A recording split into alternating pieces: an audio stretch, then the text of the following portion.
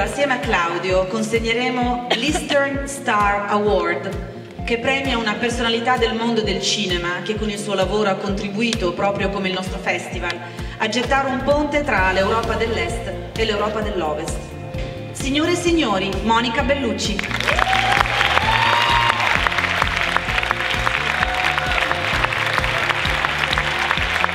Sono veramente onorata ringrazio il Trieste Film Festival per questo premio che mi ha anche permesso di conoscere questa vostra città meravigliosa.